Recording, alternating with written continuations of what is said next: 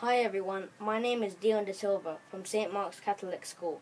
Today I am doing a review video of an Apple iPhone 3G for my technology project.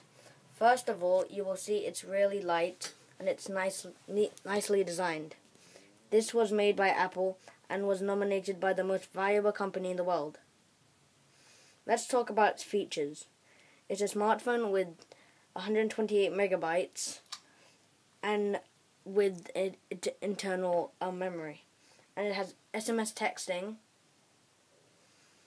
right here, and it has a calendar right next to it with a beautiful camera.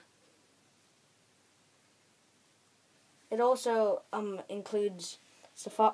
It also has a slot for headphones to listening to music while you're traveling. Right next to that is an off button where if you press really long on it, it will show shutdown.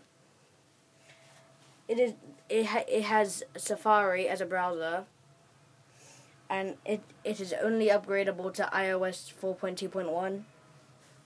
It comes with a charger. Um, here's the slot for the charger, and its battery life is amazingly long. I hope you have enjoyed my review, and this will help you to decide whether to get an iPhone, an Apple iPhone.